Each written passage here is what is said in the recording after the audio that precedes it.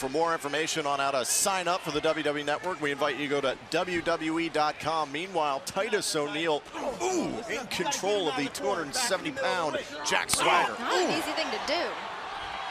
So Renee, do you buy it? Do you think Titus O'Neil will be, become a champion this year in WWE? You know what, Tom? I would love to see that because I think that, look at Titus. This is a guy that looks like a champion. He acts like a champion. He just needs to rise up and actually do it and accomplish something because he's been saying that a lot. Swagger, oh, runs into a big boot from O'Neil. But that's a good way to start it. Titus thinks he's got it, hooked to the leg, and Jack out it too. Oh, and Titus O'Neil laying into Jack Swagger here in the corner.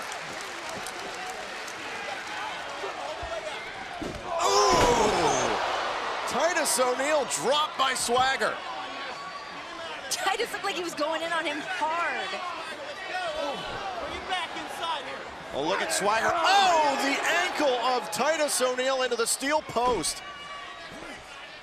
This could be bad. big man down. This could be bad for Titus. Looking for clash of the Titus. Now the leg choked down by Jack. Jack Swagger into the Patriot lock. Titus O'Neil, son of the ring. Desperate moment for Titus. Is he gonna tap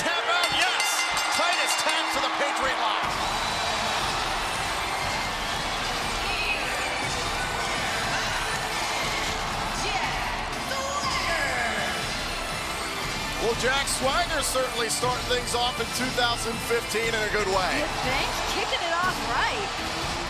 I love seeing this side of Jack Swagger. A man that size, he's got to bring it like that. Nasty. Thanks for watching WWE on YouTube. To be the first to see the new videos from WWE on YouTube, click right here. And to continue watching shows like the one that you just saw, click right here.